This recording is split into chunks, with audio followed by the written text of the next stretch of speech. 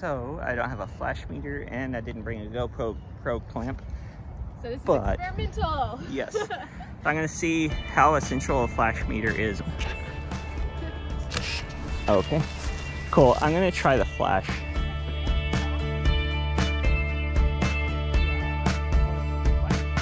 Like I said, I forgot my flash meter, but I was shooting flash on film, no digital camera around.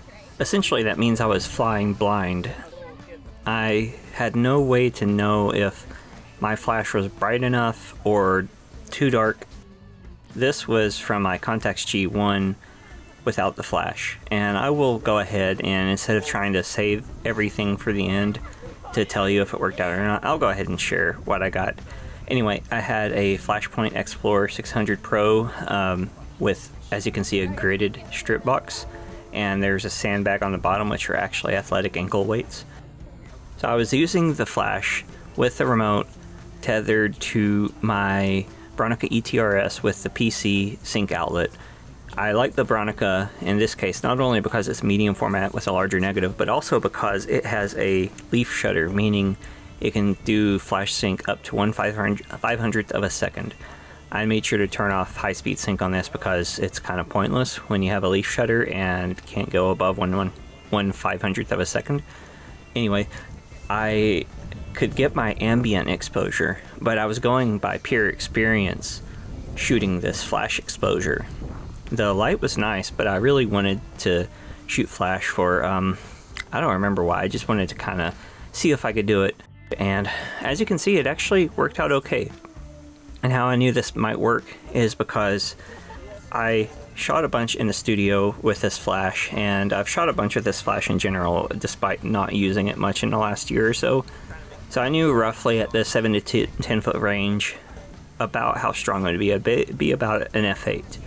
I was shooting at 200 ISO because this was actually Portra 800 that I was going to shoot at 200 and develop normally. A trick I picked up and kind of a risk, so I was just like going going all over the place with risk. And Portra 800 is definitely not among the cheaper films. Anyway, uh, you never learn if you you know don't try. Despite having forgotten any kind of way to measure this flash output, I knew from experience that I could get roughly about f8 or f11 at this distance because you also have to remember that you have the flash full power bare bulb really bright but then you put a soft box or some other kind of modifier on it it cuts the flash power roughly in half and then you put the grid on there and it cuts it down even more this photo didn't have a flash by the way. So I went ahead and shot most of these probably close to full power maybe a little bit less. But overall I kind of had a grip on what I would get for the output. I also hit the preview a lot, the, the flash preview to make sure it's firing, not only because it's a good way that I can see the intensity of the flash at this point, because I've seen it so many times I can kind of get a glimpse of how the lighting looks since it since a modeling light's kind of useless out here. But on that first photo, you also saw the advantage of why I like the leaf shutter. I can darken the background, which is just a little bright, which now that I think about it is probably the main reason I brought the flash because I wanted to tame the brightness of the sun because the, the color of the light was nice but it was just a little intense but I wanted to also deal with some contrast on the subjects in this case Catherine and Laura Beth. I got the camera. I forgot plenty of stuff on this shoot including a way to attach my GoPro to anything because I didn't think about my GoPro, which is usually mounted in my shoe, uh, flash shoe, was going to be homeless because I was using my flash remote in the flash shoe. So I got had to improvise a bit, and it wound up in the bottom of my light stand, which was super handy. And real quick, I'd like to thank my patrons listed here on the screen. For as little as a dollar a month, you can help support this channel and make it easier for me to go out and take photos when it's not snowpocalypse outside. Your contributions really do help me a lot and I really appreciate it. And if you can't, it's no big deal. You can comment, like the videos, and, you know, talk and subscribe, and, and yeah. Anyway, I decided to go under this tree for a little, a little bit of play eh, with light. Also the environment. Also, the tree helped block all the direct sunlight from them except for that backlight, which you can see pretty well here along her back. and I thought it would be something interesting and dramatic to try. So one thing you want to do when you're using flash outdoors, you have a couple of approaches. This is a picture on Kodak Pro Image 100 by the way. I shot that in the Contax G1 without a flash most of the time. But anyway, you have a couple choices when you're shooting with a flash outside. And this was more of like a, I haven't used a flash in a long time, so I should probably, you know, just see what it's like again. But you have two choices basically when you're shooting with a flash. You want it to look like natural light or you want it to look not like natural light.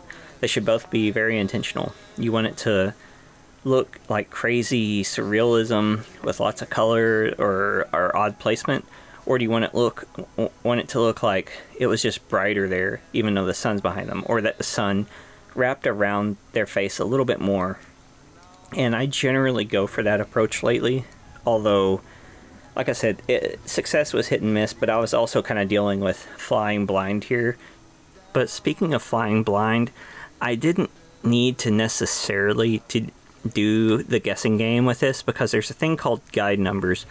It's a little bit mathy, but stick with me. This will be very quick. Okay, let's see if I can get this. The guide number equation is subject distance from flash source times f-stop at ISO 100. For example, if a subject is 10 feet away and I want f8, I'll need a guide number of 80. The guide number for the XPLOR Pro 600 TTL is around 250, minus half because I had a strip box in there, roughly, minus whatever the flash power setting I had. So I had this between half and full power, probably full power most of the time. At, uh, let's just round up to 10 feet away. That would give me 125. Cut that in half, four modifiers, that give me 75. And because I wasn't exactly 10 feet from her, that's about the guide number I had when I shot these pictures of Catherine and Laura Beth. So yeah, if you do happen to find yourself in a situation I was in, or in which I was, uh, you don't necessarily have to fly blind if you can get the guide number of whatever flash you're using, or a, a rough estimate. Anyway, Laura Beth had this really cool trench coat. In a case of spontaneity being better than what was planned, she had a dress on that we had planned to shoot, but this coat was just way too cool to pass up. And also had a roll of Fomapan 100 with me that I'd never shot, but thought it might be a cool noirish thing but before we get to that, I'd also like to point out that yes, a digital camera would be nice because you can kind of get your, your bearings of where your flash falls. And if I'd had that, that would have been handy. But, and yeah, here is one of the Fomapan photos and the non-flash Kodak Pro image photos, which I actually thought um, turned out pretty, pretty nice. And the sun was balancing out pretty well by this point and Pro Image has a nice penchant for making this balance out. But uh, actually, before we get to the Foma 100 and other trench coat photos, which are my favorite from this session actually, uh, we, we got something kind of really important to look at because we have a cat, a cat on the set. He's hunting. This is his habitat.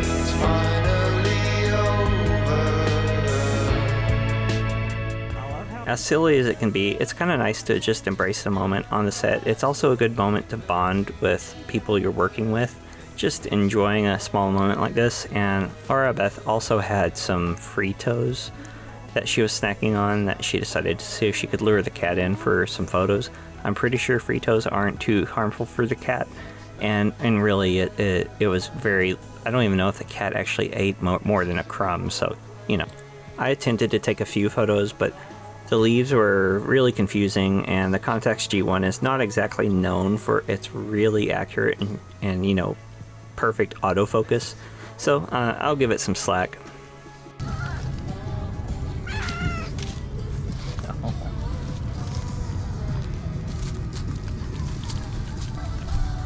Also decided to try to take a few photos in this light just without a flash to see what Fomapan 100 was like in this type of lighting and I don't think I did anything amazing with the photos, but I really liked how the Fomapan 100 looked.